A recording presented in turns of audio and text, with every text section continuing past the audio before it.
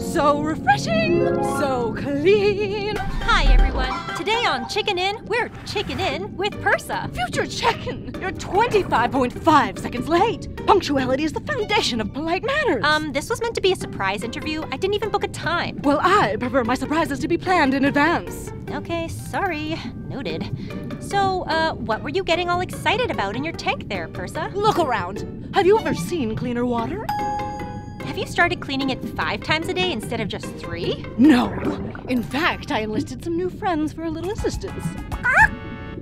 Oh, wow, mussels! But it seems very unlike you to have so many guests over. They're simply the best house guests one could have. Maybe it's a little early for me, 11 a.m. But what do mussels have to do with clean water? Why, they're nature's water purifiers. In fact, future chicken, mussels can.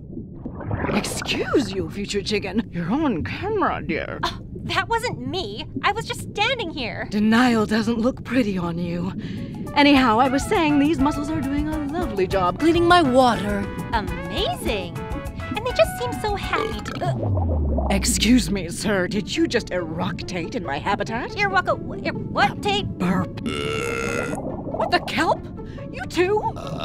Stop that unsavory behavior!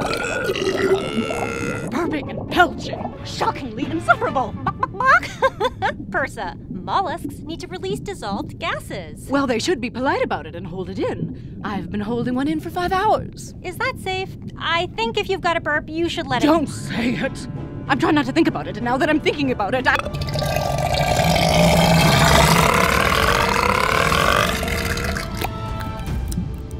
Rude. Okay, well, it's been great chicken in, Persa. I guess you're gonna need a new filtration system. I'll stick to the classics shaking.